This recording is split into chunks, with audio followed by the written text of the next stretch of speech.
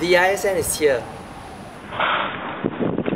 And the ISN is here. The ISN is here. The ISN is here. The ISN is AMSA's International Student Committee. It's made up of the international student representatives from universities all across Australia. The goal of the ISN is to advocate for and to become the primary source of information for international medical students studying in Australia.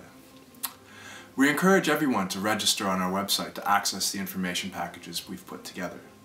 Right now you'll find international student guides to each university across the country, as well as information on the internship situations in each state and the processes for applying to internships in these states.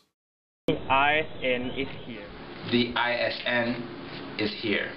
The ISN is here.